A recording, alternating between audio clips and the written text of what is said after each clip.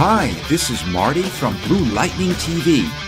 I'm going to show you how to create powerful shattered text. I provided this cracked texture as well as two custom brush presets.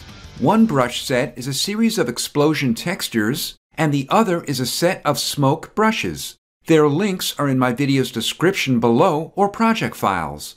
If you're not sure how to install brushes, watch my tutorial showing you how. I included its link as well.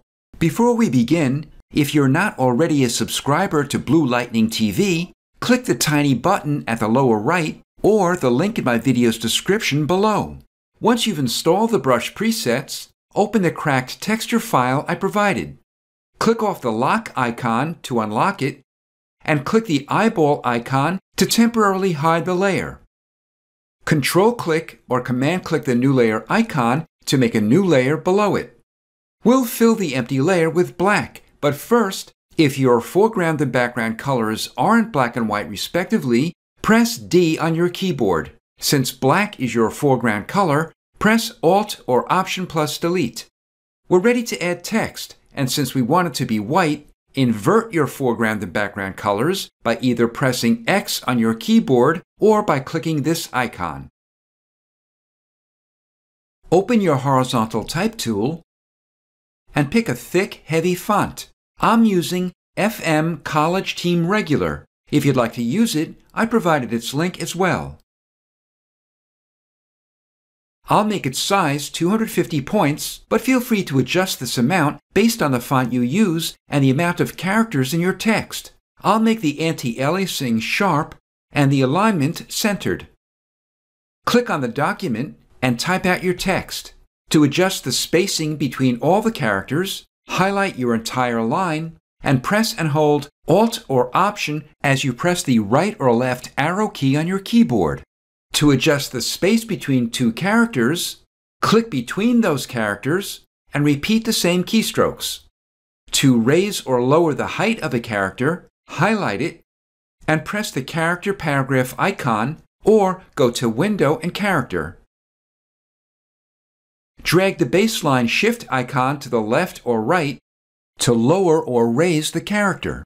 Continue to raise or lower each character to make the word look uneven and turbulent. We can close the character panel now.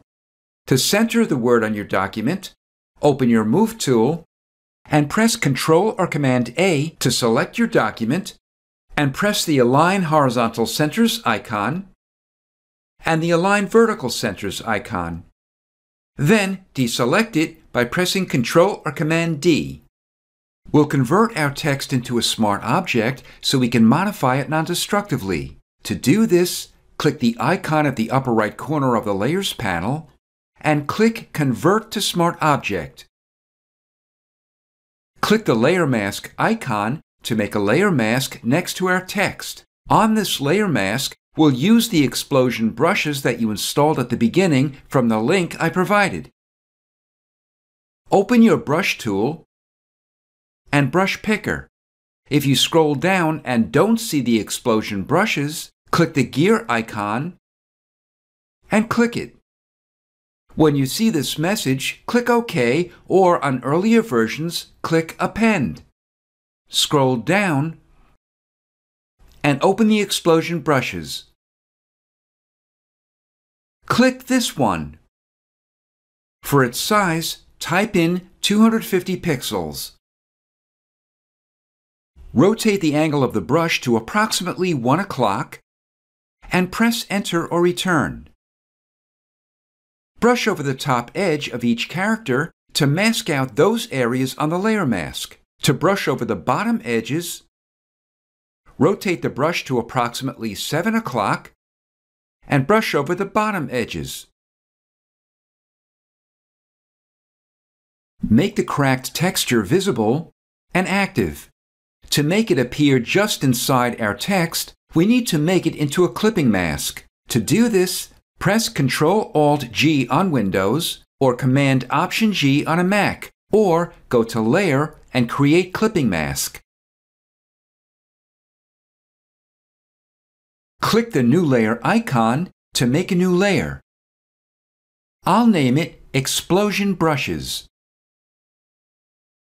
Make sure your colors are white and black respectively. Click another explosion brush. I'll click this one. To adjust its size, first, make sure your caps lock key is off and press the right or left bracket key on your keyboard. Then, click on your document to apply the brush. I'd like to use the same brush and rotate it. Continue to apply a variety of explosion brushes onto your document. Next, we'll create tiny shards exploding from the center. To make it easier to navigate over our document, scroll to the basic round brushes and click a small brush. Make a new layer. I'll name it Exploding Shards. Fill it with black by pressing Ctrl or Command plus Delete.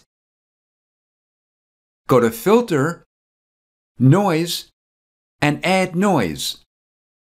Make the amount 100%, Gaussian, and monochromatic. Go back to Filter, Blur, and Gaussian Blur. Blur it 0.3 pixels. Press Ctrl or Command L to open your levels window. Drag the Input Shadow slider to the right and the Input Highlight slider to the left to create a speckled background. I'm using an Input Shadow level of 185 and an Input Highlight level of 195. Convert it to a smart object and go to Filter, Blur, and Radial Blur. Blur at 5 pixels, the blur method Zoom, and the quality Best.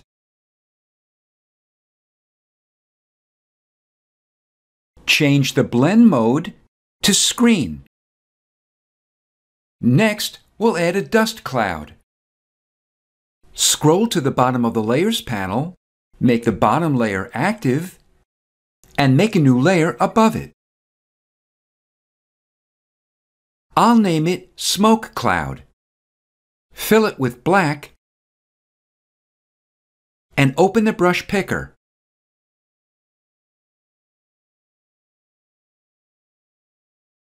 Click the free Powder Photoshop Brushes 3 brush set I provided.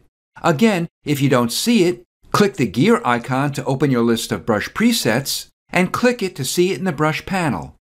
Click one of the smoke powder brushes. For its size, type in 1100 pixels. Go to the center of your image and click once. Next, we'll vary its density. Reduce its opacity to 50% and click the Layer Mask icon to make a layer mask next to the smoke cloud. Go to Filter, Render, and Clouds. Next, we'll colorize our entire image. Scroll to the top and click the top layer. Click the Adjustment Layer icon and click Hue Saturation. Check Colorize. I'll type in a hue of 220 and keep its default saturation 25, but feel free to experiment with these amounts to get the hue and saturation you like. This is Marty from Blue Lightning TV. Thanks for watching.